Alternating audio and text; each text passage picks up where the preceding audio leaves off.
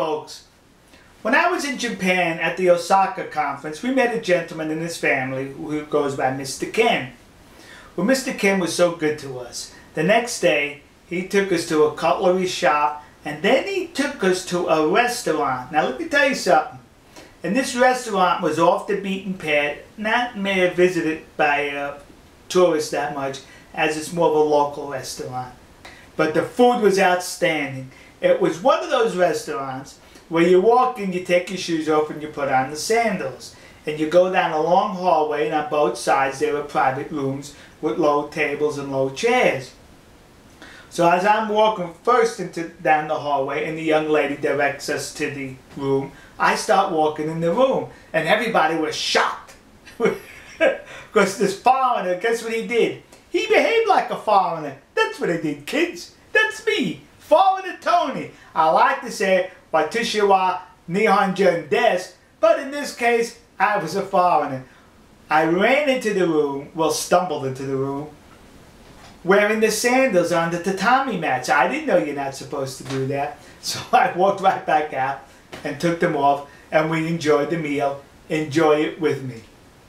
Here's our meal. It's an appetizer and we start off with uh, chopsticks and they come wrapped in paper. And do you separate it like this? Yep. Separate the No, no not that way. You don't do it this way. I did this that on purpose to show you how not to do it. okay, chopsticks, take two. All right, here we are with traditional chopsticks.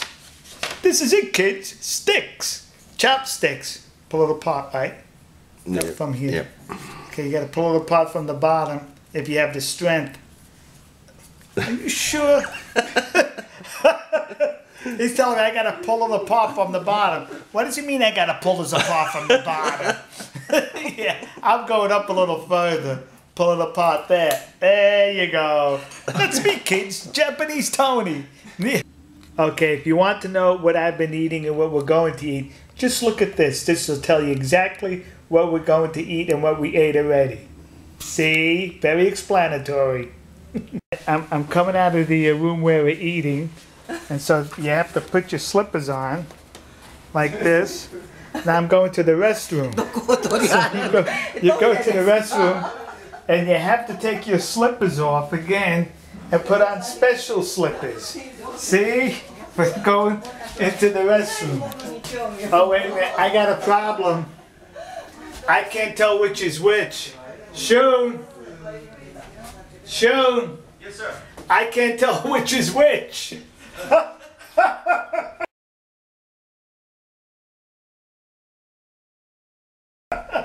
What is that? I don't know which is the Oh, bedroom. okay. The, the normally the red color is for female. That's for Red- men.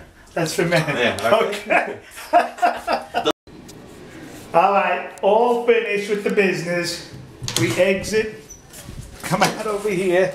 Oh, incidentally, this is my second videoing of this because the first one, I think- anyway, we take this, the bathroom slippers off and you wear the house slippers. And you come out and right here, and you have to take your slippers off entering the e- eating area, but you can't leave your slippers separated. They have to be together. Take them off, and we're in the traditional Japanese eating place. Itadakimasu. Okay. One more. Once again. Okay, take two, speaking Japanese. Itadakimasu.